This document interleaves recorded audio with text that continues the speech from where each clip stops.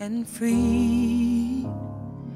I've forgotten how it felt before the world fell at our feet. There's such a difference between